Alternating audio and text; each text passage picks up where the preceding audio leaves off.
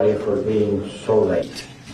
I know you have been waiting for quite a long time, but uh, the debate has been long and I have to say very much interesting and useful.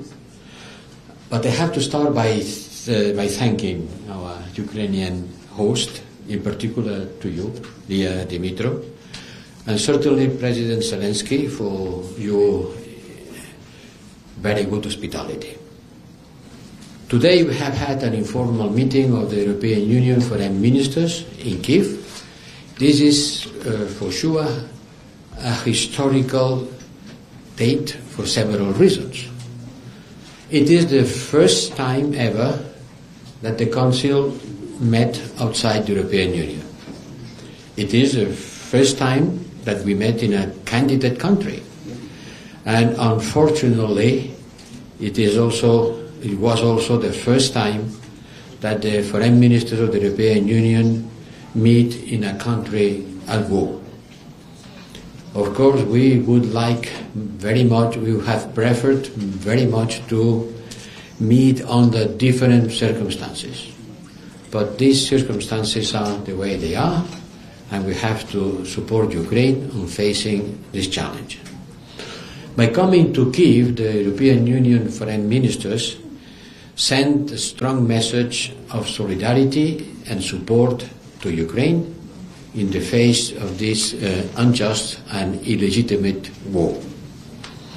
I personally, before today's meeting, I visited Odessa and Kiev to meet with the Ukrainian people, know and discuss their daily life, and see with my own eyes the brutal, inhumane nature of Putin's aggression against this country.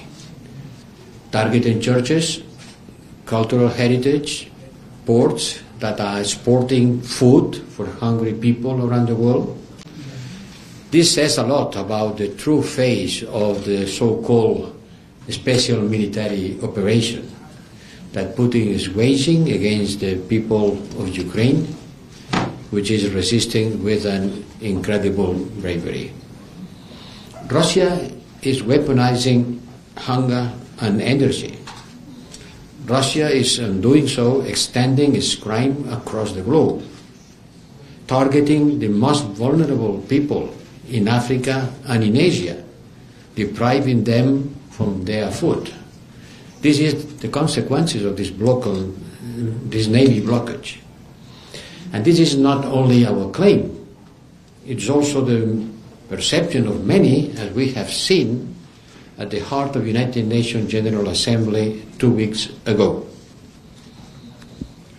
Unhappily, Russia seems determined to continue its illegal actions, violating international rules and base order and putting global diplomacy to the test. This means that we have to work more together. And we have started doing that, well, not started because we have been doing that for months, but today's discussion has provided us with a better idea of the security dimension of this situation. This has been a central discussion today with President Zelensky and with Minister Kuleba. We have been talking about the security commitments that we want to provide to Ukraine, showing our determination to stand by Ukraine in the long term, to deter acts of aggression, and resist the destabilization efforts by Russia. As you can imagine, there are many different aspects under our sustained uh, engagement. Let me start by the military side. I propose a new bilateral multi-annual envelope under the European Peace Facility of uh, up to 5 billion for the next year, year in singular, more will come. And I hope that we can reach an agreement before the end of the year when we have to agree, member states have to agree on the, multi, um, the review of the multi-annual financial framework. We continue training Ukrainian soldiers. The target today is to train 40,000 in the coming months, and this includes specialized training, training for fighter jets pilots. We are also working on uh, the strengthening the cooperation between European and Ukrainian defense industries. You had an important meeting here in Kiev a few days ago, and we will continue working in increasing resilience, cyber defense, and defense against hybrid threats such as disinformation and developing a common strategic communications. It's very important to increase our support on demining. This is a key condition for Ukraine's economic recovery and reconstruction. We are also uh, discussing about further promoting comprehensive reform of the law enforcement sector, accountability and resilience, mainly via the strengthening of the existing European Union advisory mission that I had the opportunity to visit in Odessa. And for sure, the strongest security commitments that we can give to Ukraine is European Union membership. This is the strongest security commitment for Ukraine. Now Ukraine is a candidate country and he is going further on this way. We talk about war, military efforts, resilience, cyber attacks, but we talk also about peace. And we have to engage both on looking for peace and the reforms needed for the adhesion uh, process.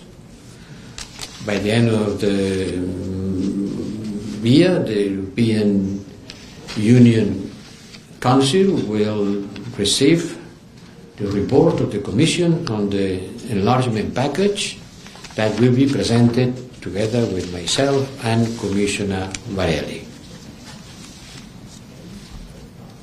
Another important issue is the continuous work on accountability, including the crime of aggression and humane, inhumane actions such as the deportation of children. Russia has to pay for its aggressions and for all its crimes. We will now take forward on work on these points in close consultation with Ukraine. And as I said before, together with the adhesion process, there is the peace formula.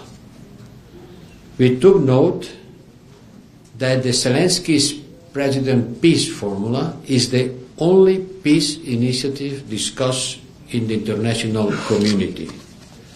Others were mentioned, but they have uh, disappeared. The only one that remains, the only one that attracts the attention and the work of the international community is President Zelensky's peace formula. It is, uh, we can say, the only game in town. It is the formula. And we will continue working as European Union to make it more global and the basis for the future peace. And I am going to hand uh, over to you, Dimitro. But before that, let me underline that this joint meeting of the European Union foreign ministers with Ukraine in Kiev should be understood as a clear commitment of the European Union to Ukraine and its continued support in all dimensions to support military, to support for peace, for a just peace, accountability, and working for the membership path. And it's also sending a strong signal to Russia. A strong signal to Russia. We are not intimidated by your missiles or drones. Just after I left Odessa, a new rain of drones fall in the oblast of uh, Odessa just some minutes after I left the city. We are not intimidated by your drones or missiles. Our resolve to support the fight of freedom and independence of Ukraine is firm and will continue. Yes, we will continue standing for Ukraine. Thank you. Дякую, дорогий Джозепа.